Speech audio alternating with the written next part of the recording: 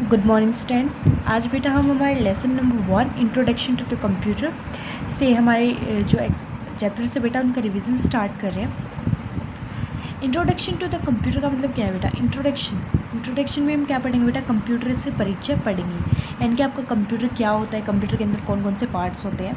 Computer is made up of four types of device computer बेटा चार तरीके के डिवाइस से मिलकर बना होता है। Input device processing device output device and storing device इस डायग्राम को बेटा ध्यान से देखो। सबसे पहले क्या करते हैं हम? हमारे कंप्यूटर को इनपुट देते हैं। किसकी हेल्प से? इनपुट डिवाइस की हेल्प से। ठीक है? उसके बाद जो हमने इनपुट दिया बेटा, उसके ऊपर क्या होती है? प्रोसेसिंग होती है। किसकी हेल्प से? प्रोसेसिंग डिवाइस की हेल्प से। ठीक है? यानी कि उस पर बेटा प्रोसेसिंग की जाती है उस पर का वर्क किया जाता है। उसके बाद बेटा प्रोसेसिंग होने के बाद जो हमारा रिज़ल्ट होता है बेटा, वो कहाँ पे स्टोर कर दिया जाता है? स्टोरेज डिवाइस के अंदर स्टोर कर दिया जाता है। ठीक है? जब भी हमें उस आउटपुट की ज़रूरत होती है, वो हमें कहाँ पे रुझता है? आउटपुट डिवाइस के अंदर अपेयर होता है। ठीक है? सो अब हम क्या करेंगे बेटा? इस चैप्टर के अंदर हम इन्हीं चार टाइप रो टाइप के डिवाइसेस के बारे में पढ़ेंगे। आज बेटा हम इनपुट डिवाइसेस स्टार्ट करेंगे। You enter data in instruction into the computer by means of input device आप बेटा अपने कंप्यूटर के अंदर कोई भी डाटा कोई भी इंस्ट्रक्शन डालते हो इनपुट डिवाइस की हेल्प से। जो most commonly use input device है बेटा, वो कौन कौन से आपके? कीबोर्ड एंड माउस है कीबोर्ड का यूज़ हम किस लिए करते हैं बेटा?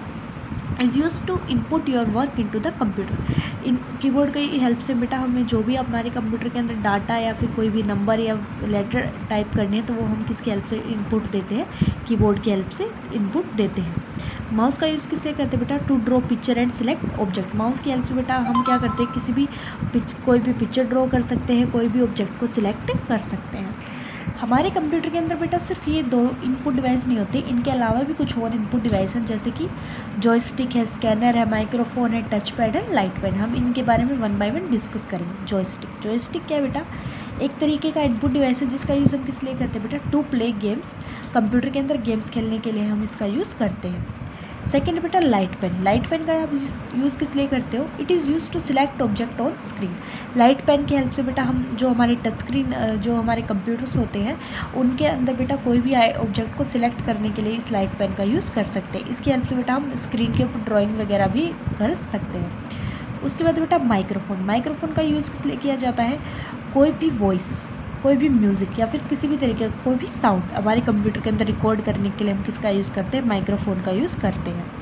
उसके बाद बेटा स्कैनर स्कैनर का यूज़ हम किस लिए करते हैं? कोई भी पिक्चर कोई भी पिक्चर को क्या करेंगे बेटा? उसका अगर हमें इनपुट किसके अंदर चाहिए? कंप्यूटर के अंदर चाहिए तो उसका वो किसकी हेल्प से होगा? आपके स्कैनर की हेल्प से होगा। लास्ट आपका टच पैड टच पैड का यूज़ किस लिए किया जाता है बेटा? It is use to move the mouse pointer with your finger इसके हेल्प से बेटा हम हमारे माउस पॉइंटर को स्क्रीन के ऊपर मूव करते हैं हमारी फिंगर की हेल्प से। टच पैड क्या होती है बेटा? एक फ्लैट सरफेस होती है जो कहाँ पे होती है हमारे? जो लैपटॉप्स वगैरह हैं, उनके अंदर होती है, ठीक है? इसके ऊपर जिस भी डायरेक्शन में हमारी फिंगर मूव करती है, उसी डायरेक्शन में हमारा माउस पॉइंटर भी मूव करता है ओके तो ये बेटा सारे आपके इनपुट डिवाइसेस के बारे में था। कल हम प्रोसेसिंग डिवाइस के बारे में पढ़ेंगे। Okay thank you